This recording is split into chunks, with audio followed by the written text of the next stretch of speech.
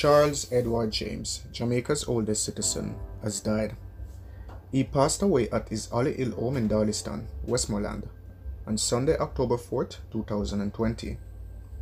James, affectionately called Mastata, was reportedly born on February 3, 1905, in Darliston.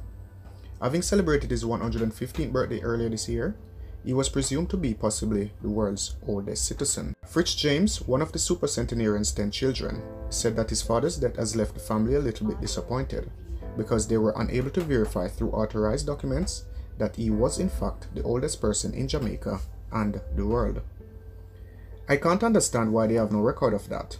Yes, he's old, but they should have records going back even further than that. James said, after making inquiries to verify his father's date of birth at the Registrar General's Department recently. The younger James said that his father had fond memories of his childhood, including the passage of the 1912 hurricane that affected Jamaica and Cuba. He had told me that in the 1912 storm he was attending school at the St. John's Anglican Church in Darliston.